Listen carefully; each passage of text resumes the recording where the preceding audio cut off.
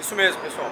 É, mais uma vez um prazer imenso estar aqui, né, pela quarta edição nesse futebol solidário, né, aqui na cidade de Arujá, em prol das pessoas que têm câncer. Esse ano será em prol do GRAAC, que é o hospital referência no atendimento a crianças com câncer e adolescentes que têm câncer na Zona Sul de São Paulo, na Vila Clementino de São, Zona Sul de São Paulo. Então, aqui o nosso futebol solidário, esse ano será em prol do GRAAC. Para participar, basta comparecer aqui no Estádio Municipal de Arujá, Estádio Municipal Armando Maiolino, entrada R$ reais por pessoa e mais um quilo de alimento. A renda do jogo será destinada ao GRAAC e os alimentos serão destinados ao Fundo Social de Solidariedade de Arujá, para ajudar quem mais precisa. Então teremos aqui o, o jogo festa, né?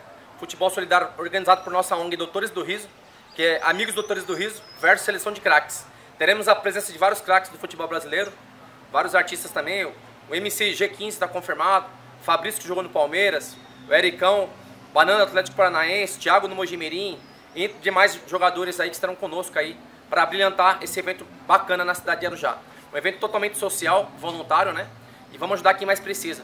Compareça, traga a sua família, vem aqui tirar foto dos jogadores, traz um quilo de alimento na porta do estádio, vamos colaborar com o GRAC também. E é muito bacana, né? Um evento social desse. Também agradecer ao prefeito Camargo por todo o apoio, a Prefeitura de Arujá, o secretário de Esportes, toda a equipe aí por suporte, apoio ao nosso projeto, mais uma vez que pudesse acontecer.